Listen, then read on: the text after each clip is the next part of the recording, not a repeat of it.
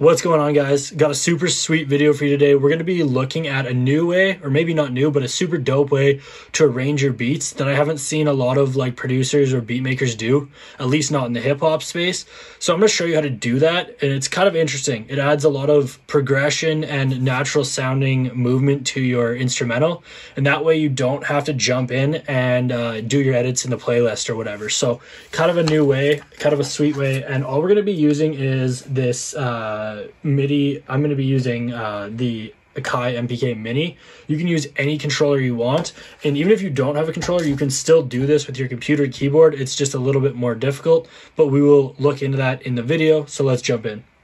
Okay, what's up guys? Today I got a quick and interesting video. So as you can see, I have my uh, MIDI keyboard right here.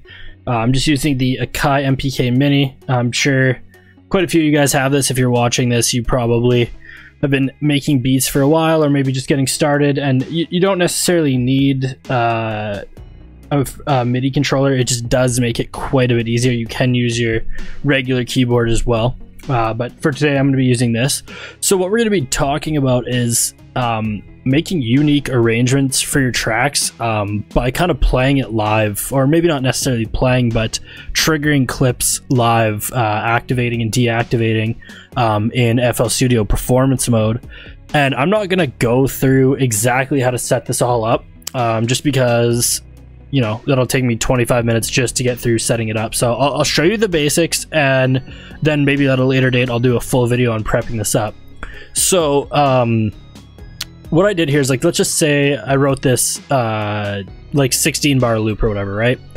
And I don't know how to arrange it, or maybe creatively I'm having trouble, or just don't have the energy or effort, or whatever you, to you know arrange it into a full track, or maybe you want to do it different than usual. Maybe you don't want to just have you know intro, chorus, verse, chorus, verse, chorus, outro, or whatever, or chorus, bridge, verse, chorus, verse, whatever. You know, like maybe you want to change it up or get something unique. So this is a way to do that. Um, what I have here is I just wrote this uh, little loop essentially, and I've had it all route to the mixer and kind of gently balanced out.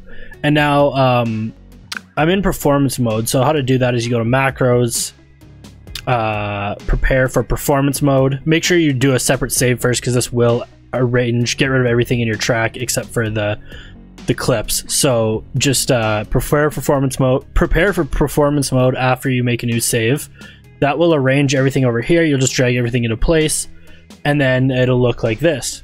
So then what I did next is I just went into each track and changed it to latch and position sync auto. So what that means is when I'm clicking play, whenever I make a change, it means it's going to toggle it um, on or off. It's not going to, I don't have to hold it down. It's not going to re-trigger it.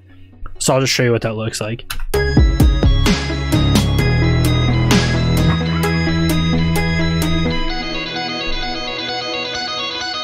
So as you can see, I can toggle my clips. So if I want to toggle on my kick right now, I'll go to octave one. I'm going to press C0. That's going to turn on my kick. And because I set them to auto sync, now when I turn on my snare, it's going to follow along in the same spot. And same with all these other parts.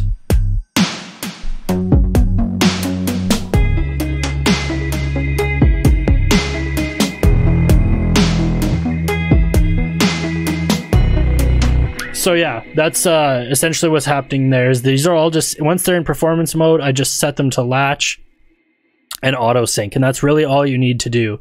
And then you can only toggle them while you're playing. Otherwise, this remains as just a normal keyboard. Um, so the other thing too is you can also link your MIDI controller up like normal to effects. So for example, on the bass here, I have a Camel Crusher distortion, and all I did is link to controller and then so link to controller and I pushed this button. So now this button, as you can see, is toggling Camel Crusher. Um, and you can do that with any effects and you can do that with the knobs as well. Like say I have this compressor here, I could uh, link to controller and I could adjust this knob for the mix. So I want it all the way up for now. Um, and so what you could do is if you wanted to make these custom arrangements and record them um, without having to keep the stems or whatever, um, like if you just wanted a master track, you could just go into Edison and have it set to record on input. And then, uh, you know, as soon as you go to play or do your performance or whatever, it would capture that whole master track and you'd have a finished track uh, from start to finish. Um, it would give you more of a flow because you wouldn't just be having you know clips organized and you don't have to edit everything because you can kind of make these decisions on the fly so you get a bit more of a fluid arrangement. Um, you know you could also set these all to track mode record and record them all individually. You know if you wanted to keep the beat for track out reasons if you wanted to send it out to um, you know rappers or performers artists or singers or whatever or remixers they might want the um, original stems.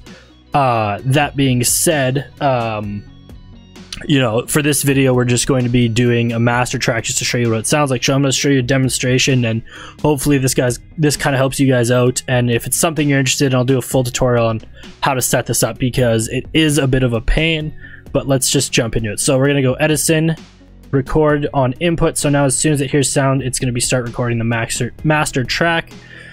And we're going to mute all of these except for muted guitar because that's what I want the track to start off with. Now on my MIDI controller, so what's what's happening here on my MIDI controller is each one of these is triggered by a di different octave. So these pads, I'm actually not using them because these are just whole uh, whole clips. If these were chopped up, I could use the in-between notes, like for example C, and then C sharp and D, and then D sharp, and then E, and then F, and then F sharp would trigger a different section. But because I don't have any sections, it's just the octaves. So C0 is activating this track, C1 is activating this track, C2 is activating this track, 3, 4, 5, 6, 7, 8, 9. And, you know, so that's how I have it set up for now. So what I want to do is I want uh, the muted guitar to come in first. and I'm on my MIDI controller, I'm going all the way down, hitting octave to zero so that when I click this one, I'm going to start with the kick, just so I know where I'm at. There's a hundred ways you could set this up and edit your MIDI controller, but that's so beyond the scope of this video and it doesn't have Mac support and there's a bunch of different issues so I'll get into that at a later date but for now let's just jump into it. So I have kick selected right now and muted guitar on so when I hit play I'm gonna scroll up and I'm gonna bring in my main guitar and I'm gonna bring in my hat and then snare and then kick and then my bass then my choirs then I'm gonna do some distortion and then I'm gonna bring in the lead metal guitar so let's just see how that sounds.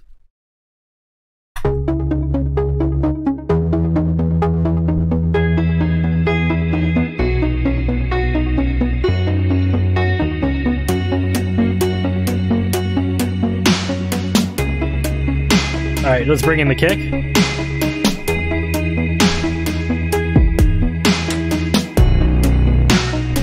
Turn the distortion off first.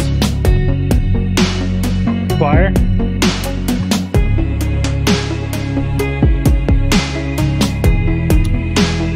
Gonna bring in the distortion halfway through.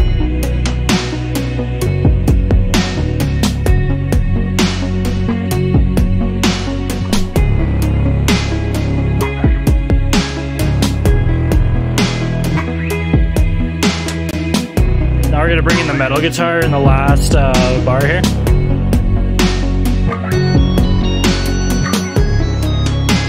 Let's cut the hats out for a bit.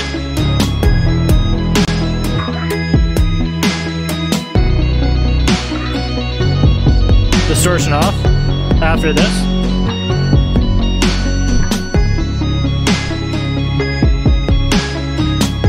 Let's bring that hat back in. And metal guitar off.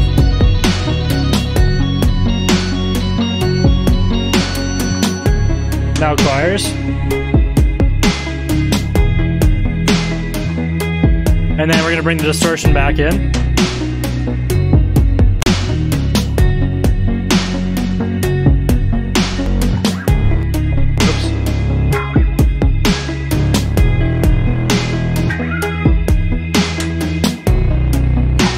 Get rid of the kick for a second and the distortion at the same time.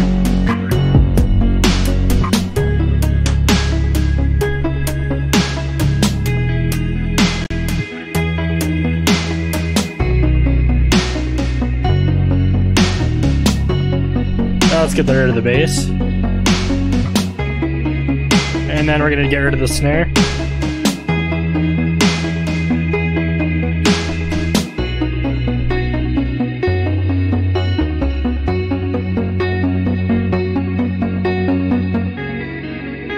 And then that could be our outro.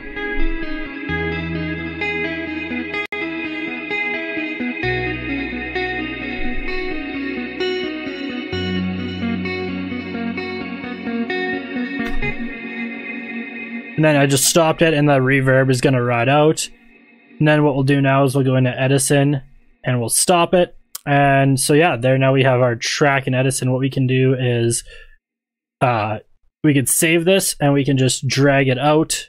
And now we have a full track. So let's just take a listen here um, in not performance mode. And this is our final result after I drag it out from Edison.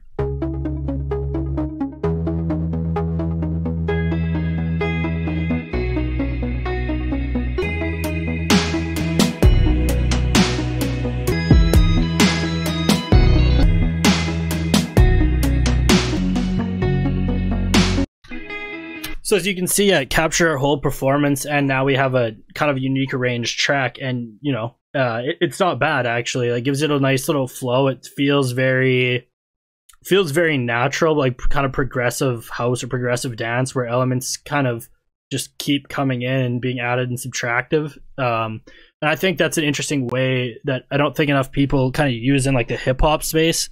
So hopefully this guy uh, helped you guys out, or like at least gave you some inspiration and ideas. Um, if you like this video and you do want to see the setup per performance mode, let me know, and I will definitely uh, do a tutorial on that because it is a bit complicated.